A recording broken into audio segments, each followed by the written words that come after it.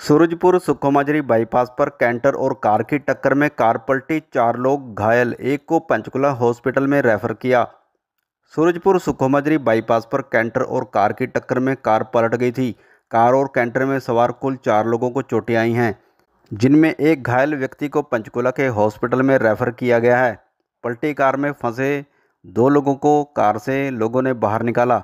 शुक्रवार को पंचकुला पुलिस सूत्रों के अनुसार पिंजौर के समीप रायतन क्षेत्र में सूरजपुर सुखमाजरी बाईपास पर तेज रफ्तार कैंटर और कार की टक्कर में कार में सवार दो लोगों में से एक को ज़्यादा चोटें लगी थी, जिसे पिंजौर के बाद पंचकुला के हॉस्पिटल में रेफर किया गया है, जबकि कैंटर चालक में सवार दो लोग भी मामूली रूप से घायल हुए हैं।